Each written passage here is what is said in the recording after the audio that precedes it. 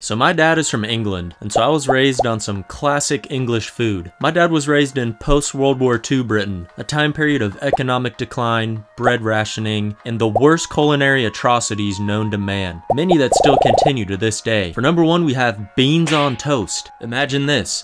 You wake up on a Saturday when you're a little kid. You're pumped to watch some cartoons and maybe eat some pancakes. Oh yeah, I'm about to put whipped cream and chocolate sauce on...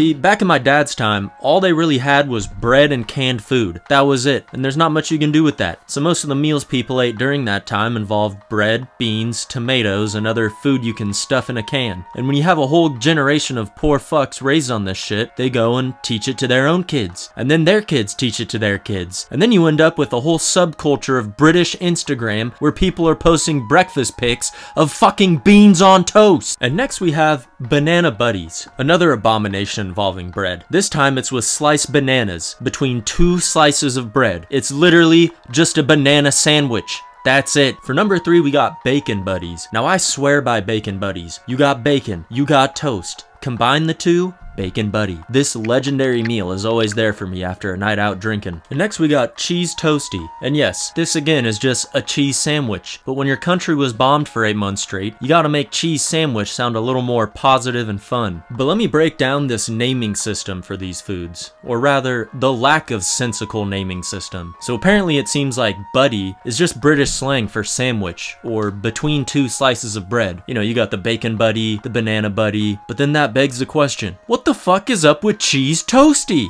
Why did they break the naming convention? Banana Buddy, Bacon Buddy, Cheese, Toasty? Why not Cheesy Buddy? No one knows. People start drinking in England at the age of 12. Who gives a shit? No rules. And then we have black pudding. This piece of shit food is a delicacy over in England, and it's literally beef blood and fat mixed with oatmeal. They were really running out of ideas with this one. For number six, we have spotted dick. This is what happens when your main tool for cooking is a giant cauldron. You just throw in some dough, add in some water, and mmm, fuck it, some of that leftover, dried out, rotten fruit you forgot about last week. It got its name because, well, British people think dicks are funny. Hey man, you know what would make these tasteless, flavorless, bland peas way better? If we mushed them up so they look like fucking baby vomit. Oh, dude, I have an even better idea. What if we did that and then we put them on top of french fries? This is why countries raise the drinking age, so we don't have an entire generation of people who think mushy peas are an acceptable thing to dip french fries into. Like seriously, what is this? Get this out of my sight. For number 8 we got Toad in the Hole. Now this is a perfect example of the laziness that lost Britain the great empire it used to have. You know how if you're from USA, you've probably had pigs in a blanket or some form of sausage wrapped in dough. Well apparently they're too good for that over there. They can't be bothered to individually wrap sausages. And let me explain something. The the benefit of wrapping them individually is the ratio of sausage to dough. If you just toss some sausages in randomly into a pan of dough, what if there's a whole section that's just dough? You don't want to take a bite of something and have it be just plain dough.